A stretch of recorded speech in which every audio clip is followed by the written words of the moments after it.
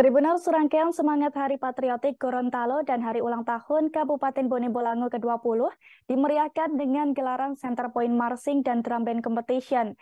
Ada sebanyak 17 tim yang mengikuti dan memperebutkan Piala Wakil Ketua DPR RI Rahmat Gobel Tribunars.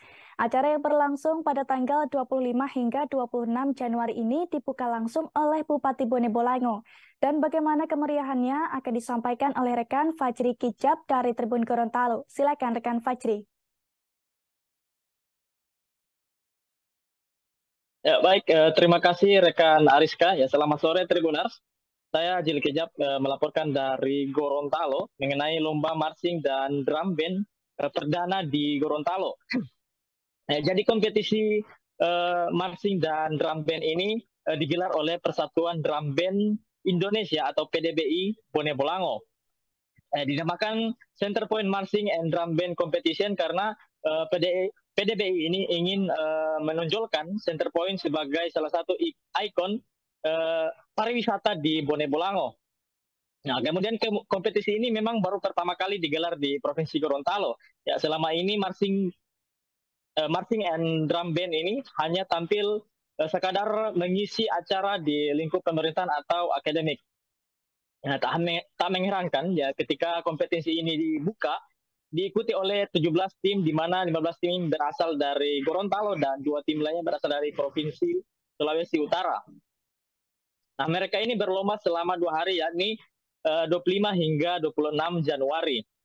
Nah, 17 tim ini memperebutkan Piala Wakil DPR RI Rahmat Gobel. Di mana kompetisi ini uh, dibagi menjadi lima kategori. Yang pertama kategori umum, senior logam, senior non logam, divisi drum band, dan divisi junior band. Nah, penghitungan poin sendiri berdasarkan akumulasi dari lomba parade dan display yang dilaksanakan selama dua hari tersebut. Nah, di mana juara satu umum itu dimenangkan oleh MB Gita Pahana Teladan dari SMP Negeri 1 Molibagu, Bolang Selatan, Provinsi Sulawesi Utara dengan jumlah poin 1352. Dan sementara juara kedua diraih oleh David Lion dari SMP Negeri 1 Kota Gorontalo dengan jumlah poin 1350. Lalu juara ketiga ya, ditempati oleh MB Gita Sivika dari Universitas Negeri Gorontalo dengan poin 1330.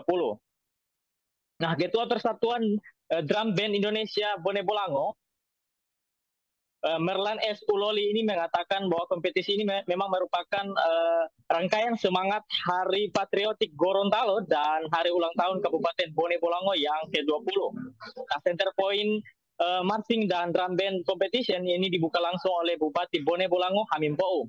Hamim berharap kompetisi tersebut bisa membangkitkan minat terhadap uh, marching dan drum band di Gorontalo. Pemenang kompetisi dalam hal ini MB Gita Bahana Teladan dari SMP Negeri Molibagu atau Bolsel ini diundang ke kantor Bupati Bone Bolango untuk mengisi uh, hari atau peringatan hari ulang tahun Bone Bolango ke-20 hari ini. Nah, demikian Ariska dan Tribunars. Baik, terima kasih atas laporan Anda rekan Fajri dari Tribun Gorontalo. Terima kasih sudah nonton. Jangan lupa like, subscribe, dan share ya. Thank you.